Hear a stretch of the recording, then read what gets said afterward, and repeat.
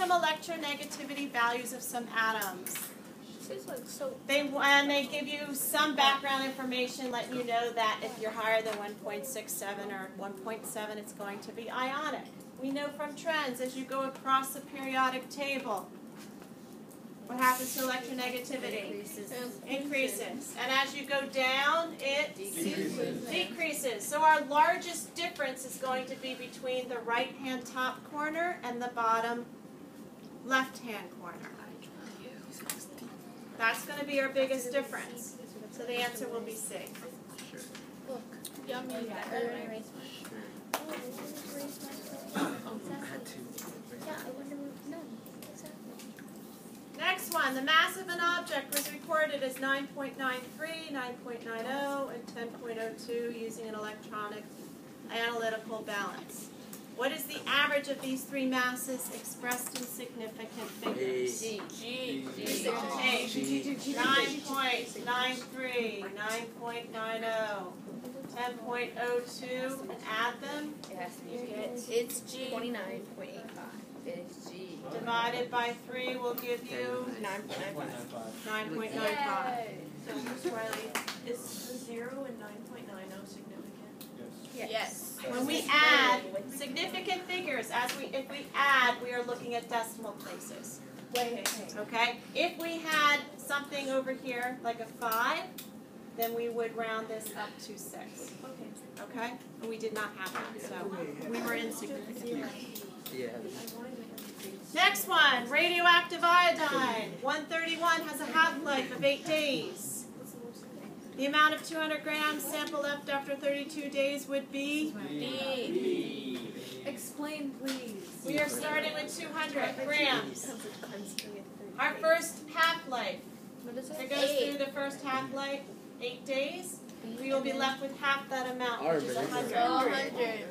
After another eight days for a total of 16 days, we will be left with 50. What does the one After thirty-one another, have to do with anything? Actually, it's C. and, huh? What's one thirty-one is it, because that's just the name? That's Yeah. just the name. Yeah, it doesn't have anything to do with After another eight days, for a total of 24, we'd be left with 25.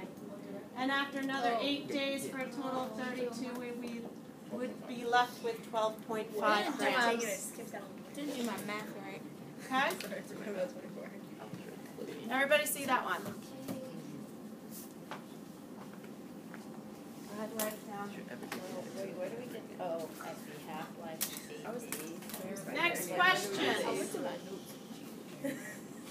No. 3.5 grams.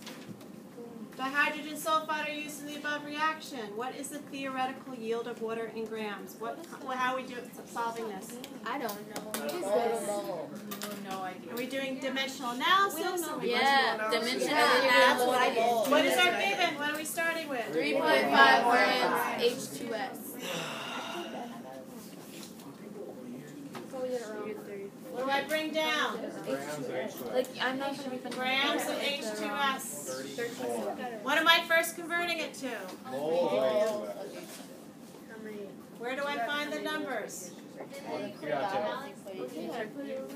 Mole to gram. Where do I find that number? Oh, okay. Periodic table. I've got two atoms of hydrogen at a molar mass of approximately one. Sulfur, I've got one atom at a molar mass of approximately thirty-two. So I'm gonna have a total molar mass of thirty-four. Am I there yet? No. Bring down moles of H2S. And what conversion am I gonna do here? Moles to, Mole. moles to mole. H2O. And where do I find these numbers? in the periodic balance in the equation. Multiple you find in the balanced equation. So it would be 2 to 2. Okay. Bring down moles of H2O, and what am I going to convert that to? Uh, grams of, dang it. In hmm, one mole, I have two atoms of hydrogen and a molar mass of 1 one of oxygen and a molar mass of 16,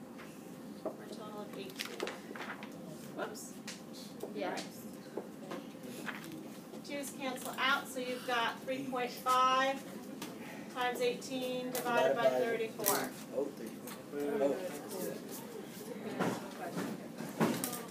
Alright, and that should give you what? Eight. One point eight nine.